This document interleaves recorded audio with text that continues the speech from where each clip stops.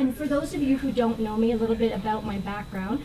Um, I have been at University of Iowa for about two years now. Um, I work uh, with Sean O'Harrow at the University of Iowa Museum of Art. My background specialty is African art, and I've been working with digital mapping projects um, probably for about seven or eight years now. I started as a research assistant at the beginning of my PhD um, with my advisor who was involved with developing the World Map uh, platform that I'm going to talk about a little bit today. Um, so as I go along, if you have any questions about anything I'm talking about, um, please feel free to interject. That's one of the wonderful things I think about this space is there's a certain amount of casualness which is really possible. So please feel free to jump in. Um, but what I'm going to do is look at four different things. First, I'm going to introduce you to the World Map platform for anyone who isn't familiar with it. Just take a few minutes to go over it and why we're using it and kind of what the possibilities are there. Talk a little bit more specifically about the University of Iowa Museum of Art mapping project that I'm working on um, and how that's fitting with, with World Map. And then I'm going to look at how these things can sort of transition into other platforms. And the example I'll use today is Google Earth, which a lot of people are familiar with. Um, and from there, I'm going to finish up giving you kind of a sneak peek at a project that I'm working on right now uh, with, many of you may know Christopher Roy in the School of Art and Art History and his Art and Life in Africa uh, project which was originally developed in the 1990s, uh, and it was a massive project, popular across North America with the K-12 audience as well as universities were using it as an education uh, in the cultures of Africa as well as African art. But it was developed on a CD-ROM that was compatible with Windows 95.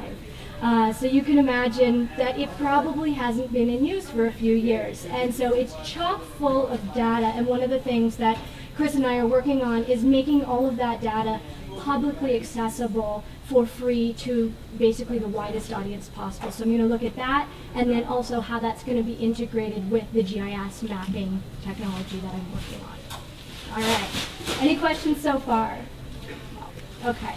Well, one of the questions I get from people is, okay, it's it's glitzy, it's glammy, there's all kinds of things, and I suspect I may be preaching to the choir since you've come to hear a GIS talk today. You probably already have an interest.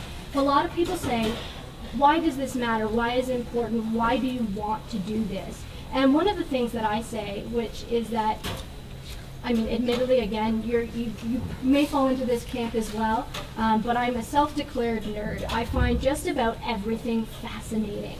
And that's one of the reasons I actually ended up studying art history was because when I was younger and I started in, in college, I thought, well, wait a second, no, I want to, I want to do English, no, I want to do science, no, wait a second, maybe I should go to med school. And then, you know, I happened upon, in, in my first year of university, I took an art history class. The reason I signed up, to be honest, was because I knew there was a lot of field trips to museums, and to me that was fantastic. And what I didn't realize was that this was a discipline that you could study, and people would even pay you to do things related to it. Um, and that's sort of how I fell in love with art history. But as I come to it now, in being part of an academic community and thinking about how that functions, it makes a lot of sense to integrate something like art history or art objects with a project like GIS and with the wider academic community. Because part of the reason that I love these objects is because you can use an art object to look at science. You can use it to look at literature. You can use it to look at political science, history. And in a lot of ways, I think for students and for different learners, there's an element of that art object. It's almost like a cheat sheet. I used to think about that. We had slide tests in art history, and they would put up a picture, and I think, well, all the answers are in the picture, you know, because it's there. There's answers, and there's there's pieces of information. And I think that what I'm going to go through today is showing how that transitions into this GIS project, why that's kind of a logical connection, and how it can use be used not just for art history students, but for interdisciplinarity across the university. So let me see if I can put my first slide up here. Okay, so what I've done here is I've actually created a little video and then I'm going to attempt to narrate over top of the video because I find sometimes if I do too much clicking that I'm not paying enough attention to the audience. So we'll see how it goes. Okay, so I'm going to actually talk so you don't just sit here and watch me while you hear my voice. Um, but this is the, the University of Iowa Museum of Art mapping project, and as I mentioned, we're using the World Map platform, which is out of Harvard. So right now we are looking at just the introductory screen. This is what you land on if you go to it. And this is available to the public right now. I made the painful decision, um, as we talked about, these things are a work in progress. With technology, things go wrong. Um, and let me pause it for a second while I yammer at you. Uh, one of the things that I decided to do was actually make it publicly accessible while we're working on it to facilitate the possibility of people giving us feedback right away and saying, you know what, I got on there, there's this link that's not working, or you know, I'm finding the the titles on your legend are a little bit difficult to read. And for anyone who's a perfectionist, you know how painful that is to sort of put your, your mistakes right out there in public.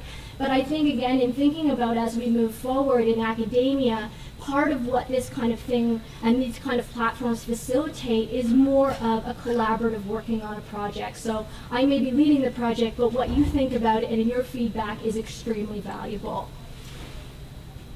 So you'll notice as we look at this map right now, that you can see that there's a number of different objects that are georeferenced uh, to their points of origin. You see a bunch of colored lines, and I'm going to show you in a minute exactly what that is.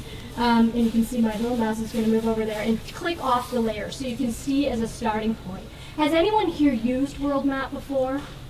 Okay, so you've got a few people, but just for those of you who haven't, essentially you start with a blank map and then all of these layers over here, you add them. You can create them, you can pull them in from different data sources. I mean, some of this stuff, let me just pause it again. Some of this stuff here, when you're looking at the map layers, we've got um, projects, Iluka heritage locations. We have ethno and linguistic groups. We have a slave trade project. That's pulling out of actually a partnership between Emory University and a university, I think it's either Australia and New Zealand. So we're pulling their data in, which is again, I mean, you've got a worldwide resource. You've got people with brilliant minds working on things all around the world. Well, how can we tap into that? How can we link it up to what we're doing at Iowa to not only benefit what we're doing, but to share what we're doing with those communities as well? So I will show you as I go along sort of what are the things we're adding in there, how does this work? Am I jumping too far out of the camera frame? We're okay? Okay. So keep going here.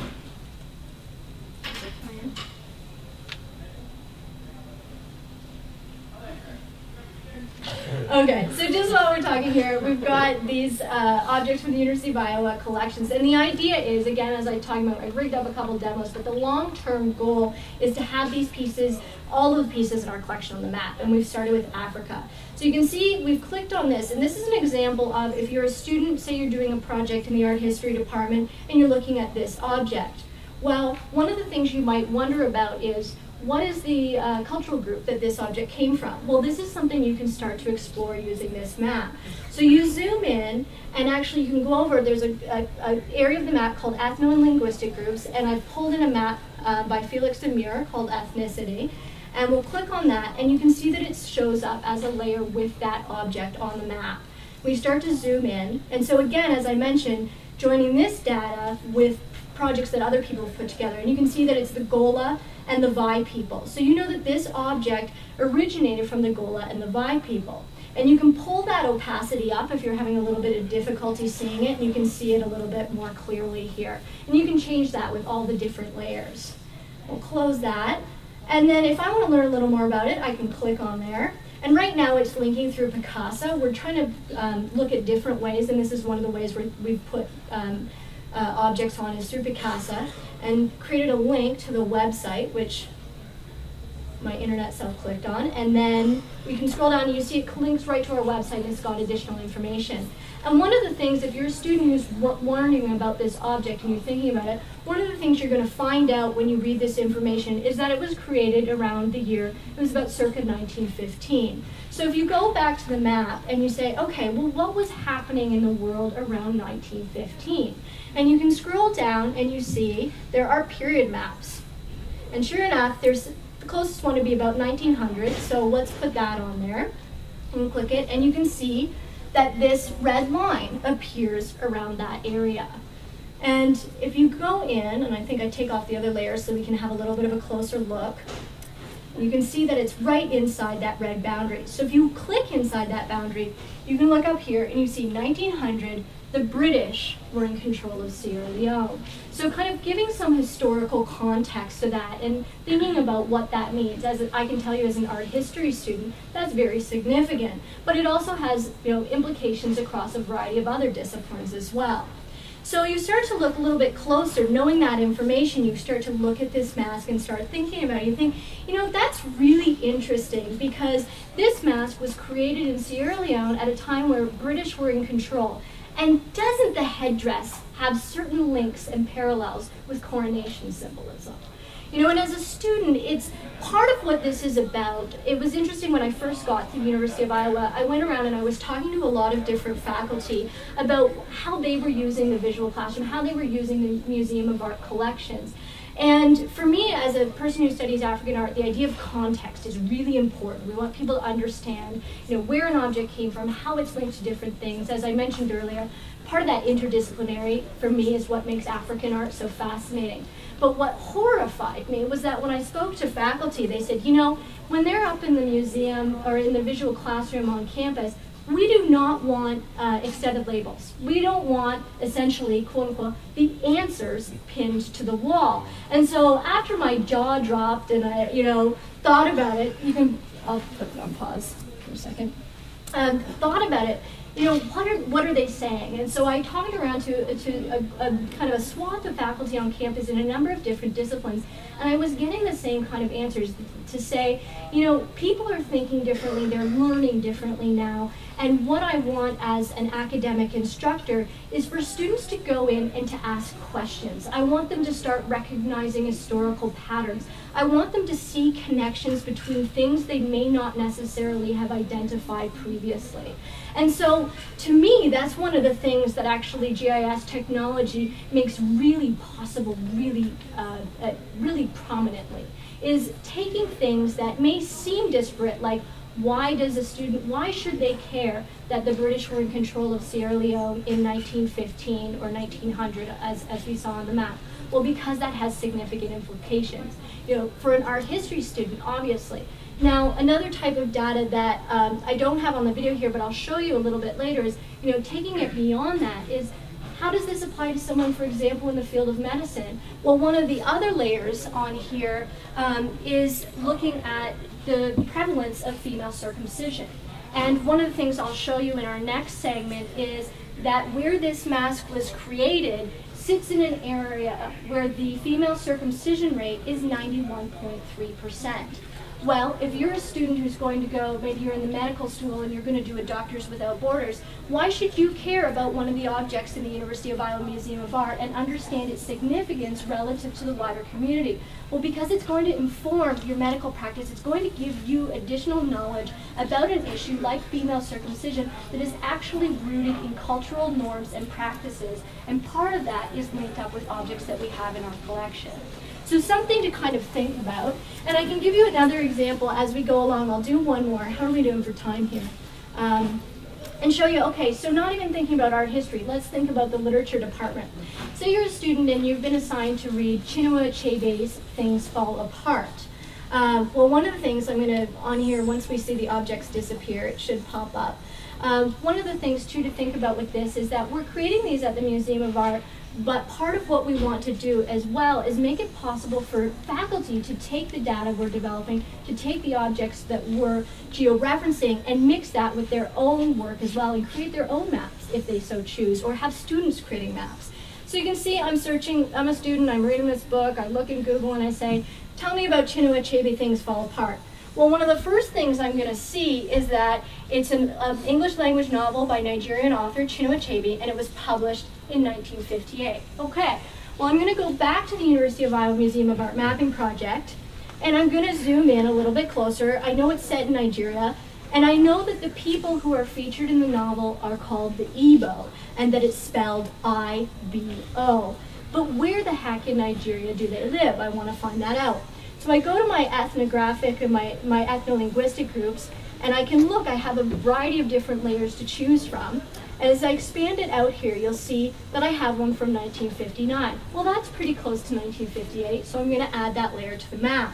And then I can go down here and I can search IBO and hit search. And it's going to show me where the Igbo people live in Nigeria. So one of the things, if you've ever studied African art, and I've taught it, uh, and I know that my students are always frustrated by the fact that terminology can often shift and change over the years. So one of the things that you might look at if you're a student say, okay, I know I have to look up, up books on the Igbo, but are there any different spellings? Well, if I look here, I have my map from 1959, and then if I go and I look at the list and I know I have one from 2001, um, there we go, click on there. My internet self is very slow. okay.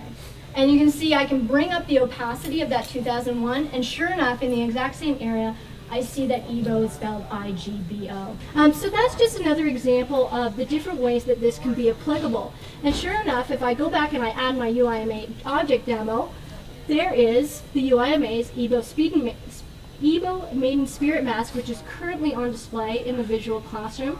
So if I'd read the book and I say, you know, they keep making reference to these maiden spirits, what are those? Well, I can go to the University of Iowa Museum of Art and I can actually look at one up close and I can see how, you know, in reading that book, it brings a way to bring all of these different things together. And as a student, you start to become aware of how much is accessible to you, how much you can get even just on the Iowa campus alone. Um, part of the reason that we're, we're using the World Map platform is that it's openly accessible, it's free. You can not only create your own layers, but you can um, share them with other people. One of my priorities as a curator of African art at the University of Iowa Museum of Art, we have one of the best collections of African art in North America. And one of the things I would like to do is figure out ways to connect those collections, not only to our own students, but to the communities of people who are living and working across the African continent. And so a platform like World Map, part of what it makes it possible by being free, by being accessible to a wider community, is you can actually collaborate with people. I can have someone who's in Ghana using their mobile phone to upload, you know, uh, uh, someone carving a stool that I can then pair with an image of stools from the University of Iowa collections, and then possibly also link in an essay that a student here has written too. So there's a lot of possibility here, a lot of different connections. Um, again, if you are a user of any kind of technology, one of the things you know too is that things come and go and they do it very quickly. Uh, so one of our concerns in developing our project has been thinking about, you know, where, what's this going to look like in two years, five years, ten years?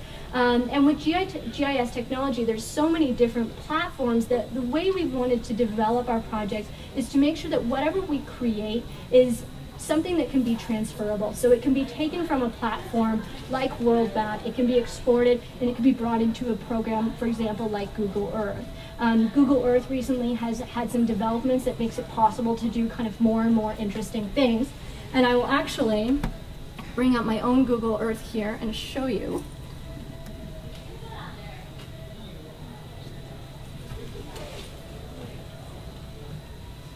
So everything you're going to look at here, I exported from World Map and imported into Google Earth.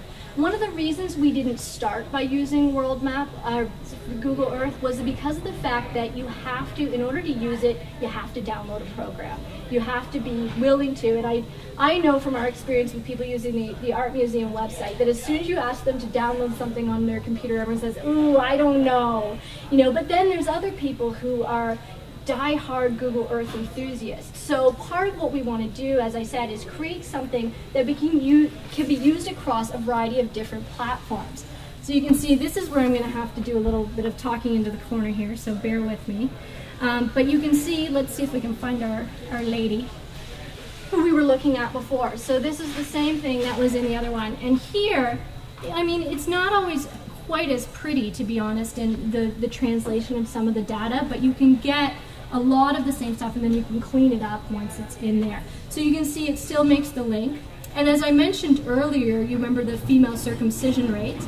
Well, let me take off the ethno-linguistic groups for a second, turn on the female circumcision rates uh, map that I was telling you about. And you can see here that if I zoom in, and there is our piece that we were looking at, and if I click on here and I scroll down, you can see that it says the total is 91.3% is the female circumcision rate, and then it breaks it down into urban and to rural. So again, the data, depending on how it's been inputted from the partner group, it's not always going to be as pretty as we would like it to be, particularly from an art museum perspective, where we think aesthetics are very important. Um, but a lot of times, as we're developing a project like this, in order to get the nitty gritty done, to get it out there, get people using it, get them giving us feedback, well, we can make it available when it's not quite as perfect as we might like it to be. But you can see how with um, this, you, I mean, you've got all of these objects, they're um, in the exact same kind of um, geo-reference to their points of origin, so students can look at the relationships that these have to one another. They can click on the links and be brought up to um, uh, to the website so that they can kind of learn a little bit more about it. And again, they can start asking those questions because as you saw on that earlier map, there's so many, I mean, you can look at soil type, you can look at water bodies, you can look at Wikipedia, you can add YouTube. I mean, you name it, you can add it. So whether you teach art history or whether you teach political science or something completely different, there's ways to bring that together. And of course, in my humble opinion as an art museum curator, at the center of that is an object which can really navigate those different areas and show the intersections in a way that's very prominent. So I'll close up Google Earth unless anyone has any questions about that, but you can just kind of get a sense of how it works. So let me just, as we're wrapping up here, I think I've got a few more minutes, to give you an idea of a kind of sneak peek into what we're doing with the Art and Life in Africa project. So, as I mentioned earlier, this is a project that Christopher Roy was involved with uh, in the 1990s. He brought together more than 30 of the leading scholars in the field of African arts and culture and had them contribute essays, contribute their own field photographs, contribute objects from various art museum collections into one project that sort of brings all of this information together and allows us to kind of explore. And it was targeted for a kind of K-12 or an undergraduate or a college audience of having people be able to kind of start to understand. I mean, when I was teaching African art, I would start every lecture and say, if you walk away from knowing one thing from this class, know that Africa is a continent, not a country. Um, and you would be shocked the number of students whose jaws dropped when I said that. Um, because one of the things I think that was kind of a goal of Chris's project originally was to really celebrate that diversity, give people a sense of what is what what what happens across the African continent, what is the cultures, you know, and, and I say cultures because it's dynamic. I mean, we're talking about different geographies, different climates, mountain ranges, deserts, you know. So how do you bring that all together and kind of look at it? So he brought it together in a kind of coherent CD-ROM uh, that then became sort of inaccessible. And what we're now doing is shifting that and making it available because what we're doing is twofold. So the first stage of the project, which we're working on right now, is taking all of the data from Chris's Art and Life in Africa project allowing scholars an opportunity to update it. Um, you know, it's been a few years since 1995, um, but at the same time, a lot of this information is still really valuable, but people want to make additions or changes. So we're going through that process, and then we're presenting it as a wider website. So Phase one is to change that CD-ROM into a freely accessible website. And then stage two is to map that data so it becomes accessible in a slightly different way. It's, it's part of what I was talking about earlier was thinking about that different learning styles, the different ways that people are kind of navigating things now, right? With a CD-ROM, you were kind of telling a story. You were starting one and you were moving to the end. But as we know now, anybody who's doing research, you know people hop in and out of documents, you know that they move around, they may not read the whole thing.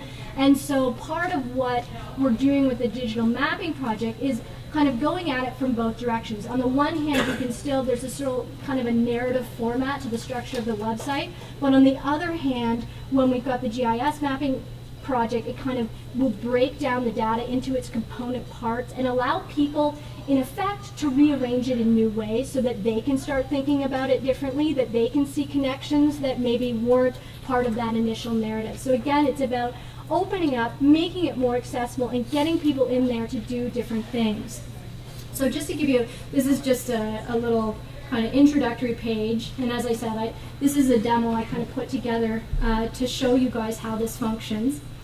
And you can see that I brought in some of those period maps just to show you that again, you can bring in data from all different sources. And part of what this is going to be is bringing in all the art and life in Africa uh, data, but then at the same time bringing in from a bunch of different sources and saying, great, okay, we've got this fantastic project.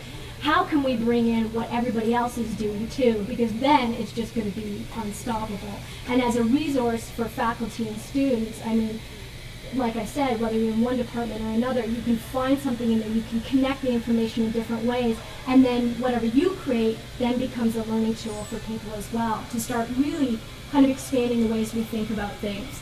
So just as an example, um, one of the things that, uh, I'll just take some of the other layers off to focus on a few things at the moment. One of the things that the Art and Life in Africa project includes are essays written by scholars kind of from various different locations and you can see that when you click on one, a little thing comes up, and then I'll say, okay, take me to the essay. And this is going to take me to the Art and Life in Africa website. And this is not available yet, just for your reference, I'll take a minute to kind of introduce you. And you'll see there'll be a few kind of wonky things as we're looking at the screen. It's because probably as we speak, my curatorial research assistant is actually uh, working so hard to upload all of the data from that original project. Um, I get the lucky job of coming out and using the glossy screen to tell you guys about it, um, but he's doing a lot of work uh, on the back end to make that possible. Um, so what you can see, anyone who remembers Chris's project, I don't know if anybody you had used it um, back in the day. So this may, some of the content may look familiar, um, but the sort of the shape of it looks a lot different. Um, and the way, as I mentioned with the CD-ROM, it was set up in a very narrative format where it went in chapters and you moved your way through it. Well, here we've continued to have those chapters so people can follow that if they want to, but if they want to hop around, they can do that as well. Um, so then we have the topic essays, as I showed you already. So these are written by leading scholars in the field of African arts and culture. And one of the things we're making available how it was built in the 1990s initially, but part of the plan of this longer term project is actually to continue to build it. So invite scholars to continue working on this, to bring in new content, bring in new collections, and really continue to build it as a resource. That is, I mean, one of the amazing things, I've recently have been working on a bibliography for one of the uh, publishing houses, and one of the things they talked about when they were writing to me to ask me to do it was, you know, people are not using information in the same ways, and we need people to be able to come into the middle of your bibliography, read a, a, source, and then go out and go somewhere else. And we also want to create it so that a year from now you can add additional sources, and then you can come back a decade from now and say, you know what, I'm continuing to, to research, and I know that someone just wrote this really great book. And so we're taking that philosophy and applying it similarly to the Art and Life in Africa project. So it becomes really dynamic in the ways that it's used. And again, because we make it to the available to the public and we don't say, you know, this is a complete project, you can come to us and say, you know, I'm teaching a course on fill in the blank. And I really would love to have some content. Well, and we would say, great, you know, as long as you've given us some significant lead time how can we identify a scholar who can produce that, invite them to contribute to this, so it starts to build and starts to serve uh, not only us, but then the wider uh, community. Because as I said, this is available not only to Iowa, but around the globe. Okay, and the other thing, of course, we're art historians, so uh, photographs are very important to us and, and art objects. And so that's another aspect of the project that's really important is it brings together uh, African collections from across North America and globally as well into a single resource.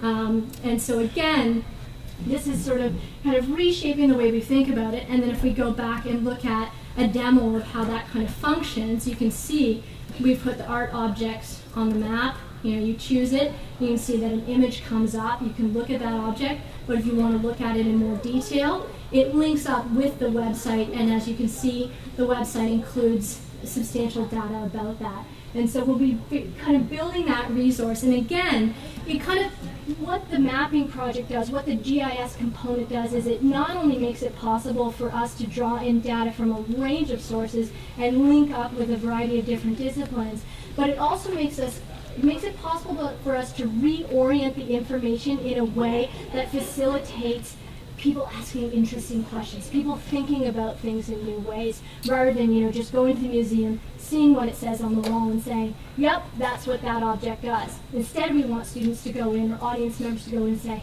hmm, wait a second, I saw that object, but I think it just might have a relationship with this other thing that I've been thinking about and that I saw as I was looking at it.